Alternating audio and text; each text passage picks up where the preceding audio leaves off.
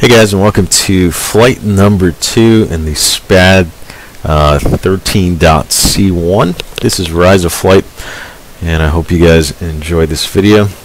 Uh, just still kind of working out the cranks with my recording um, volume settings and things like that. I hope you guys can hear me a lot better now. Uh, we're going to take another flight in the SPAD, go out, maybe do some aerial combat, and then come back in. So hope you guys enjoy this video. Let's get her started up.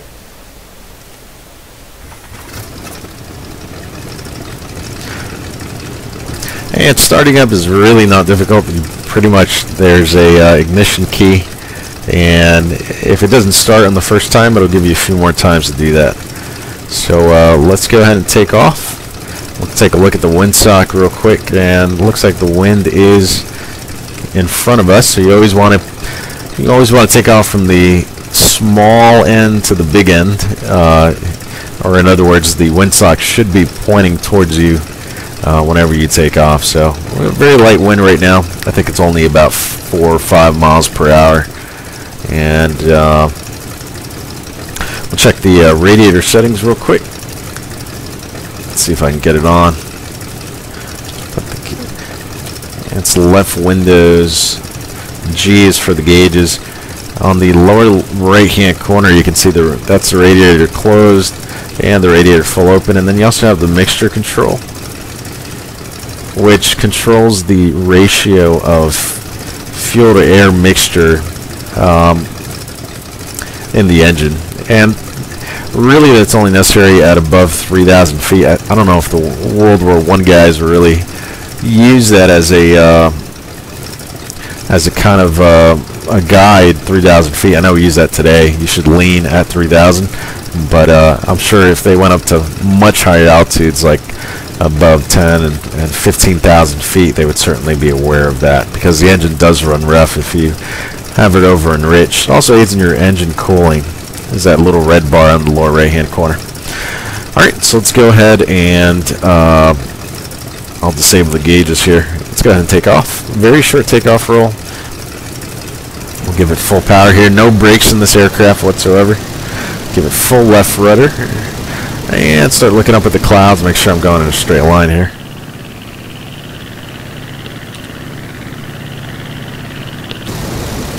Alright, still rolling here.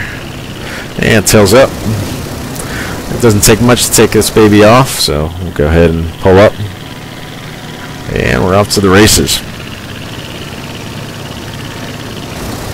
Alright, very nice. And again, just a beautiful flight model just gives you the, an amazing sensation of flight.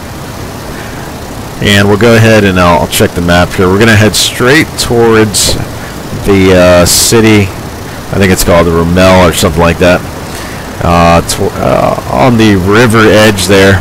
And we're going to find some enemy aircraft. So this is one of the quick start missions and you basically pick the aircraft that you have. There's a number of scenarios you can see on the lower right hand corner of the map there. There's a uh, ship attack, the convoy we did last time. You can attack some artillery, some balloons down there at the south, and uh, enemy aircraft as well as a train. So there's a few scenarios that they kind of just put you through, uh, just to kind of fly around and get a feel for the aircraft. Let's climb up, get some altitude, and uh, we'll come back when I'm actually over the city. Alright guys, so here we are approaching the, uh, major city on the front here, on the western front. And uh, pretty big city. It does impact your frame rate somewhat. And even though this game, our flight simulator came out a few years ago, uh, it's still not for the uh, faint of heart as far as CPU performance.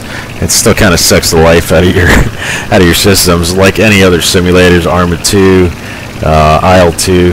Uh, it's still very taxing, DCS, etc. So just be aware of that if you want to try this out. Alright, so let's look for enemy aircraft, and hopefully we get into dogfight here. I'll show you what that looks like. And this is what one of the air enemy aircraft looks like. Let's see if we can engage this guy. Okay, so I just spotted him down there. And I am going to try and and just get on his six basically. these fights can be pretty grueling in that you get into these uh, pretty wild turning fights. Alright, this guy's engaging me effectively here. Alright, so he's clearly on my 6 here. I'm going to try to turn. Oh, looks like he got an engine hit here. That's You got some oil spewing. I'm going to try uh, I'm going to try to run here for a little bit.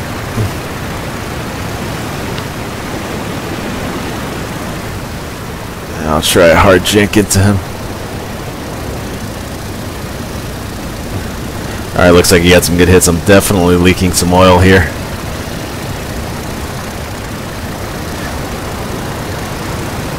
So you do get into these prolonged turning fights in this, and it's just the nature of the the beast. There was very slow engagement speeds.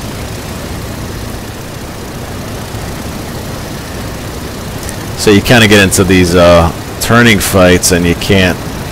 It's hard to get out of them. All right, definitely leaking oil here, but I'm going to stay in the fight.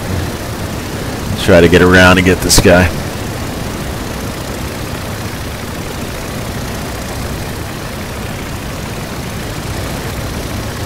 Oh, I can feel the engine losing power here. Not sure that I want to maneuver much anymore here. I'll turn back into him just to be on the uh, aggressive side.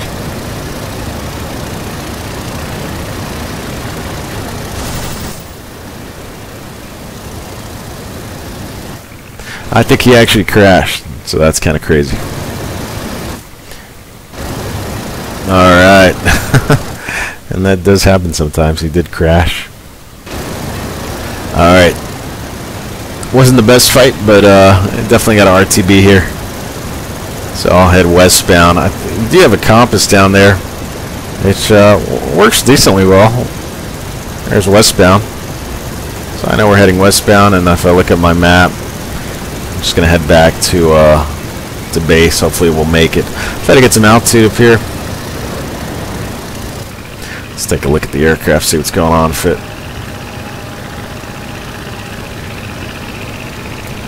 Alright. Looks like I'm smoking just a little bit. Try to get it back to base and maybe we'll uh, come back out. Alright, well my engine's pretty much crackling and clickling. So that means it's probably going to lock up because I'm losing oil. Looks like we're going to have to land. Do an emergency landing here. And my pilot isn't responding too well here. Alright. Looks like I survived this crash, but kind of hurt. Alright, we're going to go back to base, take off, and uh, hopefully try again here. Alright, so here we go again. And we'll take off and head back out to the front. Try this again. That is a huge wooden propeller on the front of that aircraft. That thing is absolutely massive. It's, you know, before metal was really incorporated in, into uh, propellers, and this is all fabric and and wood and wires. It's pretty amazing the uh, the forefront of aviation. Uh, truly, talk about flying one of these things would be just the most surreal experience as far as experiencing true flight, wind in your face, light uh, fabric aircraft, feeling everything that the airplane does. It'd be truly amazing. Alright, it's finally got a good start. We'll take off here. And he did need a ton of left rudder to keep her straight. A little bit of forward elevator. Pushing the, push the uh, stick down just a little bit. And when you have enough flying speed, she'll just lift off the ground. Very nice. And there's our base all the way back there. Very nice terrains and rise of flight.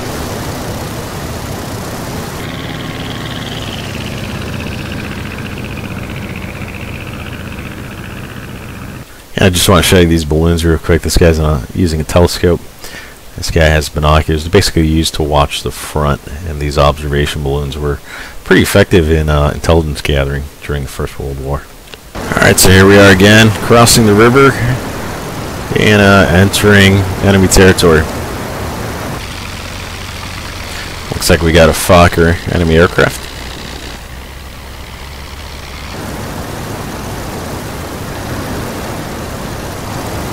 And one thing I noticed is that it's very difficult to spot enemy aircraft, much like it probably was during World War One. It was almost a, a, uh, chance meeting, and you could certainly have uh, aircraft in the air, but you might never encounter them. Alright, so I finally spotted this guy. He's in the sun.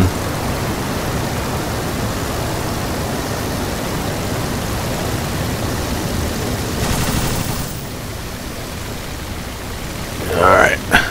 Fights on, fights on. Now Fokkers had much better low speed handling because of that tri-wing, but the uh, the biplane's advantage is that they actually had the the speed, so they could outrun these things. They could basically extend away from them, and you could either climb and come back down on them, or you could simply go back head on with them. So really the, uh, even though von Richthofen flew the triplane, uh, it was certainly uh, could certainly turn tighter, but the SPAD was able to pick where the fight occurred, and he could always run away from the fight if he needed to, because it just had the speed advantage. That extra ring, even though it gave incredible maneuverability, and and uh, German pilots were able to execute some amazing stunts in them like that. they uh, they didn't have the speed advantage. And uh, one of the old sayings, even to this day, of uh, dogfighting is that speed is life. So whoever has the most speed, if you can manage that energy well, you can typically win the fight. So I'm going to stop turning with this guy and just climb. Turn into him a little bit. Use my speed advantage to climb above him. Let him bleed out with maneuvering, and now you can see that I'm on his 6 just by uh, managing speed and energy well. That third wing would create an immense amount of drag, and that's why they, uh, they didn't have uh, very good speed, but the uh, biplanes actually did really well. Yeah, climb above the sky just a little bit, doing do a high yo-yo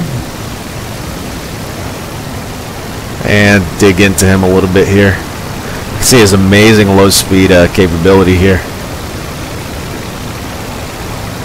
Alright, so I'm slowly inching up, catching up to this guy, just using my speed advantage. And he is clearly using his uh, maneuverability to try to outturn. Alright.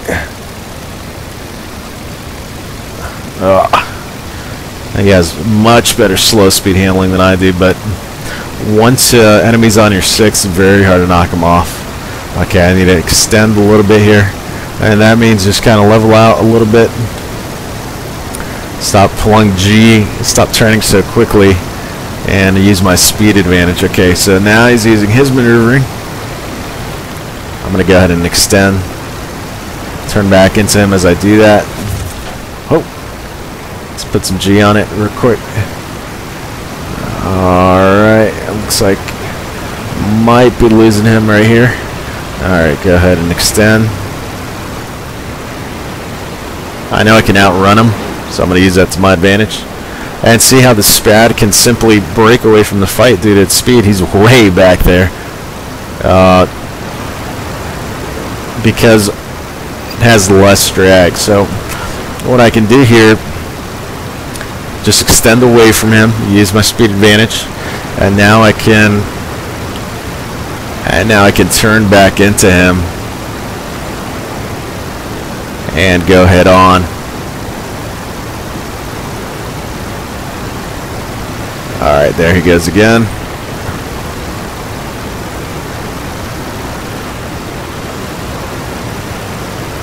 Break away from the fight.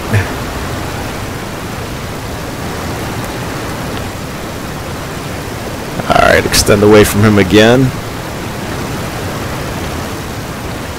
And this time I'm going to try slow climb.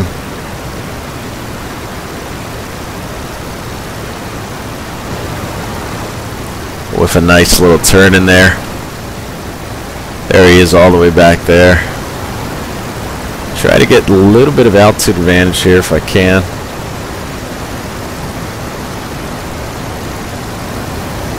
Alright, let's turn back into him, try to fight. Okay, let's see. Okay, not sure where he went. There he is. Alright, let's turn hard into him. Alright. That was a mistake. He lost sight just for a split second. Into him. If he keeps hard maneuvering. Alright, there he goes. I'm going to go high yo-yo. Just climb and turn gain some altitude and swoop down him. Extend here just a little bit. I know he can outturn me, so I'm going to continue this high yo-yo maneuver to gain altitude. Come back down on him. Okay, now I'm going to do low yo-yo, which means I'm get the nose down. And get some more speed here. Okay, again, he's outturning me, so I'm going to break off and extend away. So the SPAD was very uh, in the hands of a right pilot who understood the tactics. He knew that he could always break away from the fight. And uh, with the triplane, the German triplanes, and uh, actually the uh, British had some triplanes as well, they didn't have the advantage to pick when they could leave a fight and when they wanted to actually engage. So let's try high yo-yo again. Let's break into him. He's taking some good shots there.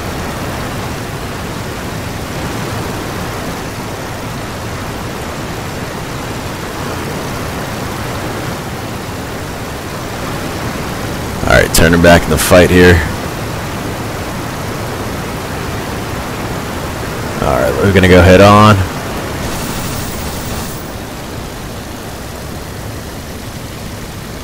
There he is. You can definitely see the advantages of both aircraft playing out here. Okay. If he continues that climb, I know I can beat him.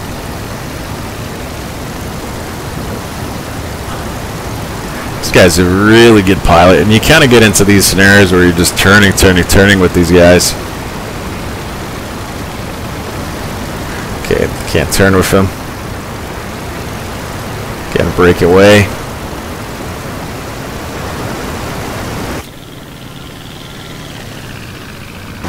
Alright, going head on again here.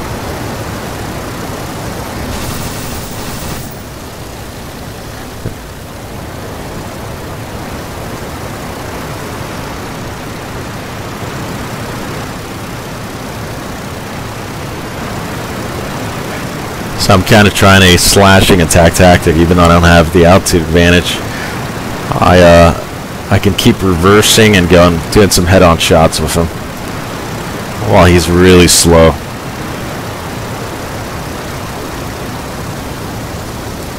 All right, here we go.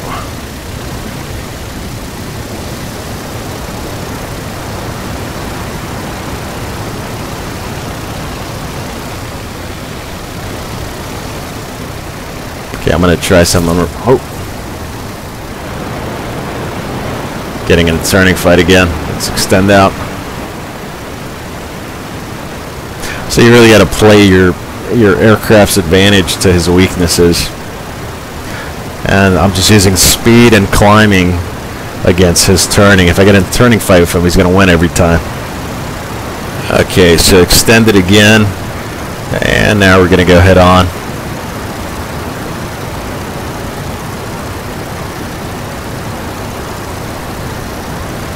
Alright, so we just passed each other, coming back around now. Alright, let's see if we can find this guy. There he is.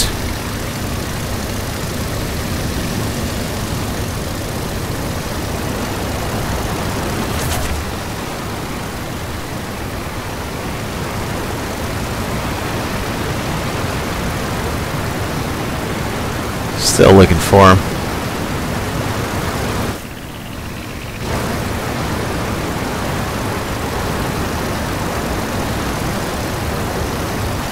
Man, this is a tough fight.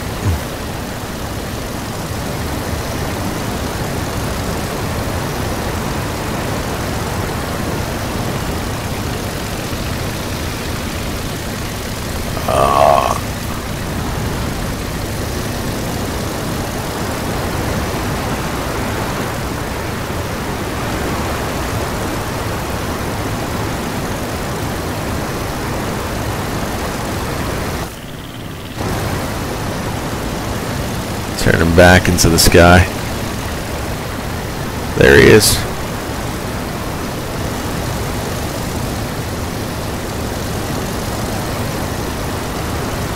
Alright, now I'm just getting aggressive here.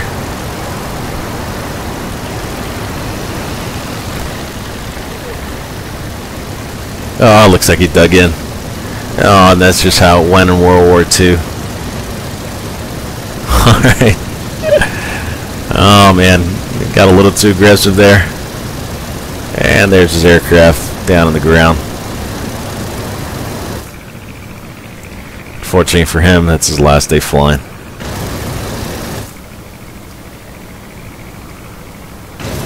Alright, let's RTB and hopefully we can save this crate. And you can see there, you remember I told you that that's probably our temperature. Our engine's uh, overheating. It's over I'm assuming that's Celsius, 100 degrees. Um, that's what happens when we leak oil, that it's not able to cool the engine, and eventually it'll uh, seize up because all the uh, oil's gone and, and it overheats. So hopefully we'll kind of finesse it back to base, and hopefully we can make it back.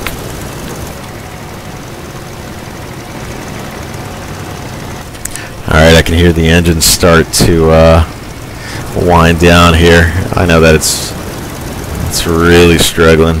Probably metal grinding against metal because of all that oil that we lost. So we're just gonna try to try to bring it down uh, at the airfield.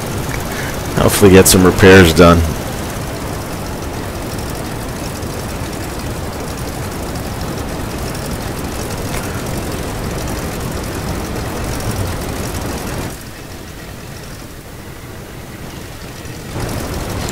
Alright.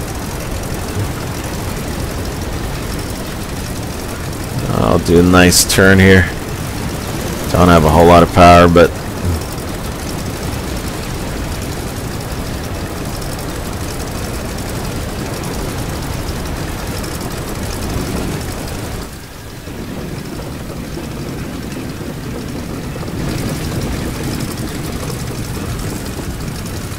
All right.